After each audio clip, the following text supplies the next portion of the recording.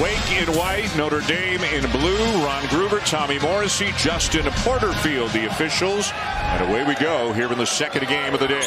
Shrewsberry, he looked like he was going to set a back screen, but instead took a down screen. And he could have easily gotten a shot there if not for Hildreth. Tae Davis spins inside and has it blocked by Andrew Carr. Carr did a nice job of walling up. Nobody stops the ball, and Sallis buries a three. And Efton Reid down with the rebound. Efton Reid, their leading rebounder per game. Boopie Miller wide open. And what a start for the Demon Deacons. And this Wake Forest team is tough to pack it in on because they've got so many good shooters.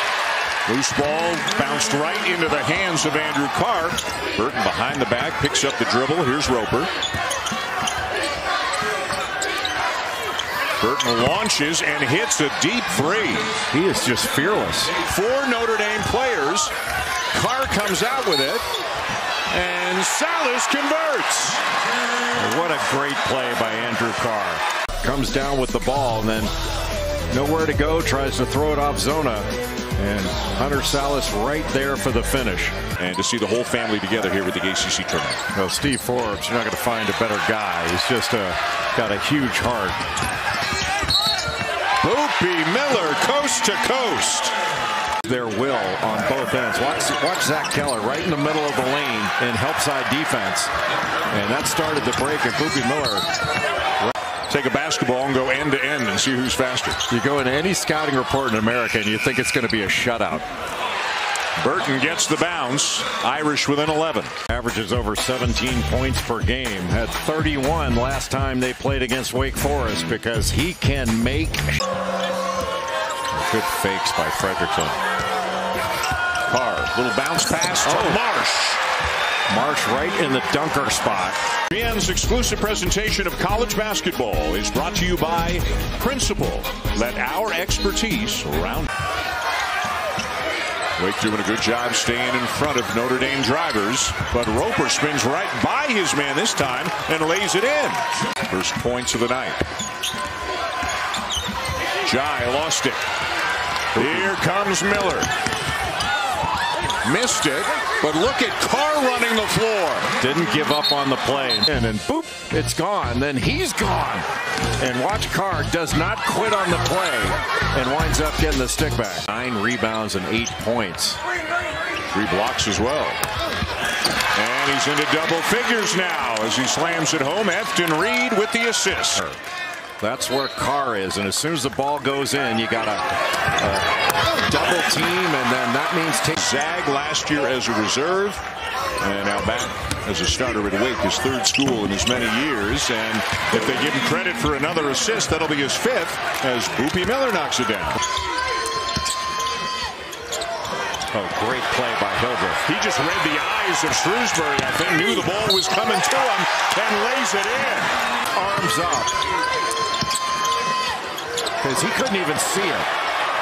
And then takes it the other way. And this, he really looks like Dante DiVincenzo. First half of taking advantage of the openings that were provided by all the attention on Burton and Shrewsberry. Hildreth no, Irish ball. Well, Wake Forest really had a chance to stretch this lead out. How did he get through there? Burton just kept driving and found himself at the rim. Back down to single digits. In the game with that foul trouble. Hildreth no. And Carr keeps it alive and lays it in. That's exactly what he was doing the whole first half. Burton the spin and the kick. Knocked away by Friedrichsen. And he lays it into the other end. Active hands by Friedrichsen taking it the other way. And then you could see just tucked Knocked away. Boy, Friedrichsen's really been in the passing lanes, hasn't he? Sallis at the other end. Another great play. Active hands led to a run out. Recovering, keeping his hands up. And all of a sudden, Wake Forest out in transition for an easy one. Sallis open in the corner. Air ball on the three. Reid with a putback. Efton Reid just caught that air ball and then has a little rip through to get to his right hand. Finish. Sallis splits the double, missed it. Rebound Reid, he'll kick it back out. Hildreth up and under. It's a terrific job of using the rim so that Booth can't block. Both teams are going to come out playing like it's Saturday night in the ACC championship game. And they should. I'm not sure it is an elimination game, but you always want it's certainly an elimination game for the ACC championship.